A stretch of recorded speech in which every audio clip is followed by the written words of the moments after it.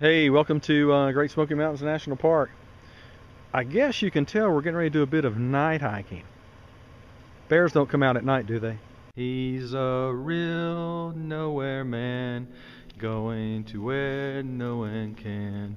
This is the bridge to nowhere. Hold that for a second. You want to tell the folks where we are? We are at the road to nowhere in Bryson City. And we're on the way to? A campsite 74. So it must be a road to somewhere. Yeah.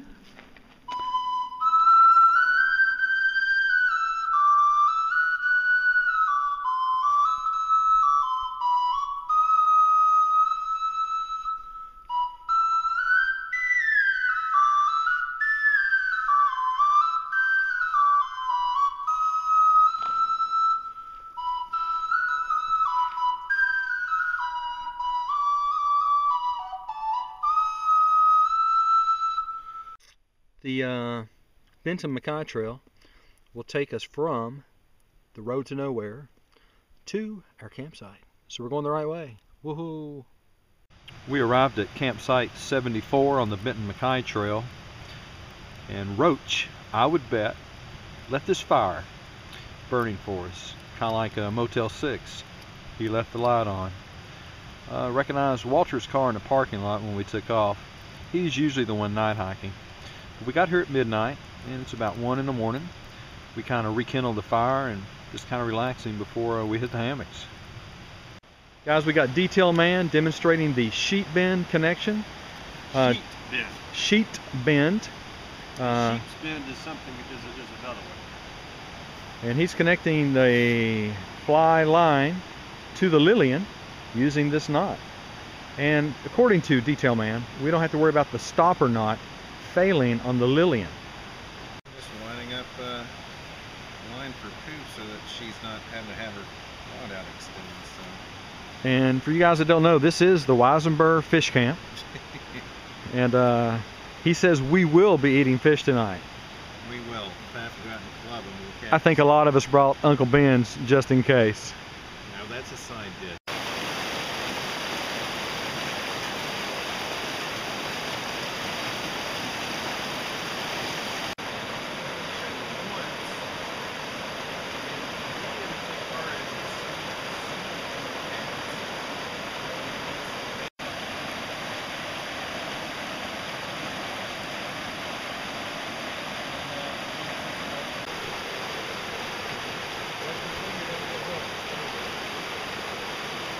Her first cast.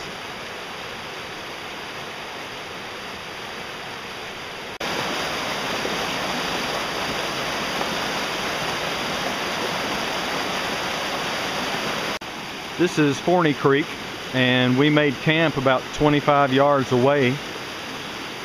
Woke up this morning, uh, the cold was 32.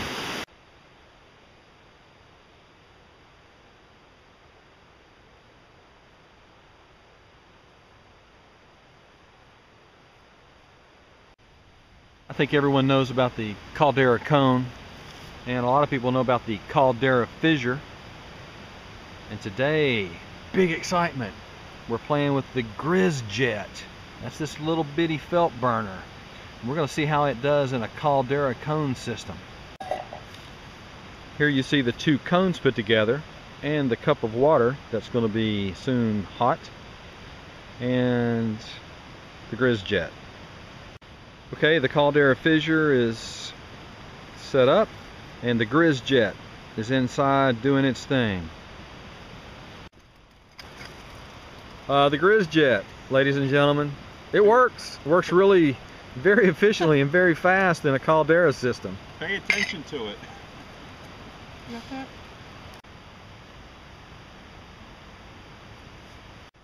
Hey, we're in Great Smoky Mountain National Park, so you would uh, not be surprised to see the horse people come in. Beautiful horses.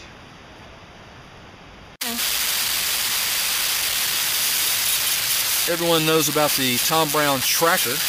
This is the new Tom Brown.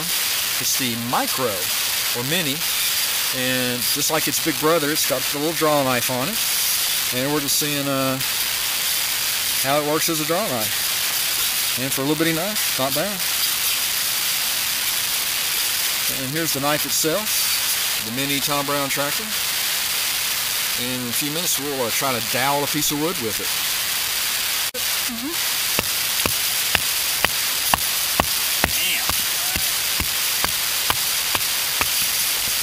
Okay, as you can see, uh, this little bitty knife is great for doweling, making kindling.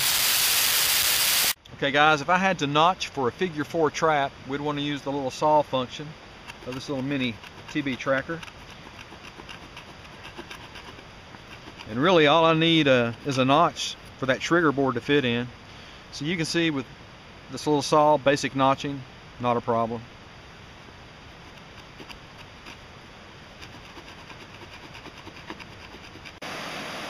This is where Forney Creek meets Fontana Lake.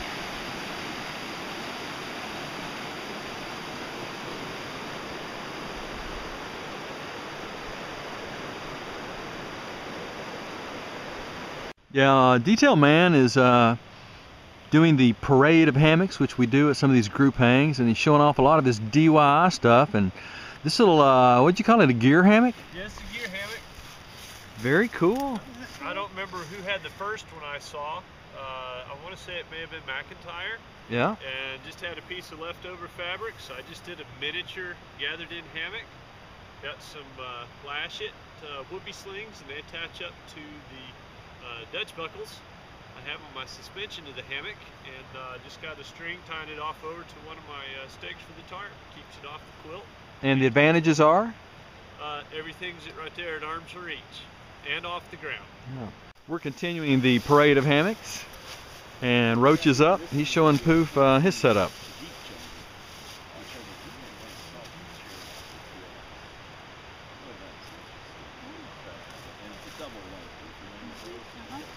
So what I've done, here comes his uh, standard uh, uh, Reflectix pad.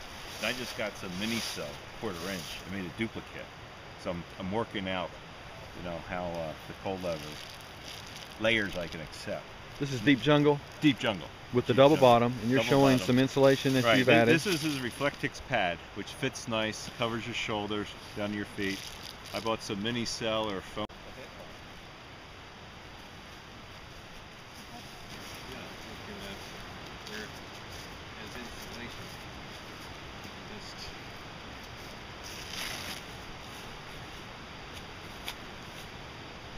All right, well, here's a photo up there.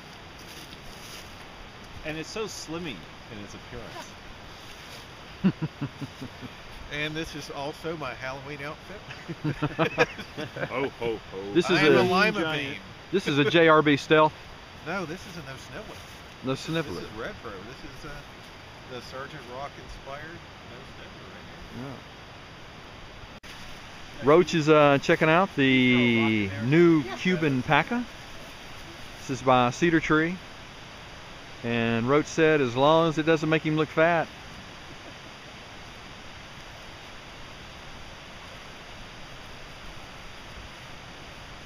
I feel kind of buff in this. Yeah, pull that hood up, man. See you disappear out. I love the uh, green color. I think he's got a winner there. Yeah. Yeah, you do look a little fat in that. The camera always puts on 10 pounds. It does, Yeah. Let's go in full storm mode. That's my uh, wife. Oh, look at that. Yeah, I like that. and he glued it in. It's glued in Cuben, so you don't have to worry about seams or... Always are looking for something. My, where's my chapstick? I'm always grabbing for the video camera, which Okay. goes there. Yeah. Hey, it's my cousin, Mr. Green. what kind of vegetables are you guys for Halloween? Who has her green there too, where we have all three seasons. You got Weisenberg, the lima bean, and what are you? You're the uh, I, I'm split pea soup. split pea. I was thinking the rotund cucumber. Yeah, show off that packa. Danger, Will Robinson, danger. Hey, uh, again, special thanks to Cedar Tree for finally getting the Cuben packa on the market. These are custom made for you. One thing I love about it, thank you very much, Eddie, is this little hidden pocket. Never know it's there. Look at it disappear. But I'm always reaching for the video camera. Maybe your Droid or your iPhone would fit in there. Nice little attention to detail with uh, little wristlet pulls, tighten up. Uh, it's obviously not raining right now, but it's cold. And I'm using everything I've got to stay warm and it's a great little wind block. We got maybe a little five mile an hour wind coming through here. Nice little overflap on the exterior zipper. Eddie's done a good job. Go Paco. Walter's using the Ti-Tri Caldera system. I think he's got an alcohol burner mode right now, but he'll also use wood. And those accoutrements for the wood insert are right here that you see. Also we'll do Esbit. Cool. This is uh, my setup for the night. Uh, same as the last time and the time before it. Uh, used the pole mod this time.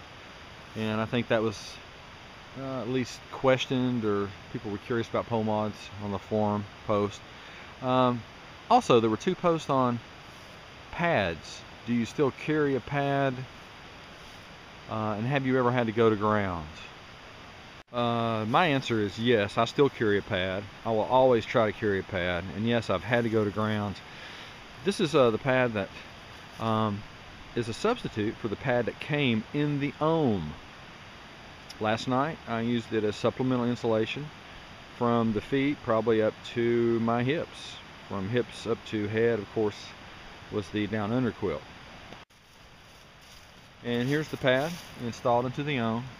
Just replacing the, the much thinner OEM. But this pad, big enough, if you had to go to ground, you could make do with it. Hey Shug, we're thinking about you. Wish you were here.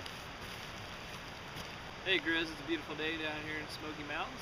Thinking about you today, so wish you were here. Hey Grizz and Shug, it's a beautiful day. Hope you guys can make it out soon, and uh, we're enjoying the great outdoors. Have a good one. Okay, so uh, we're hiking out. Getting to see a lot of what we didn't see on that night hike in.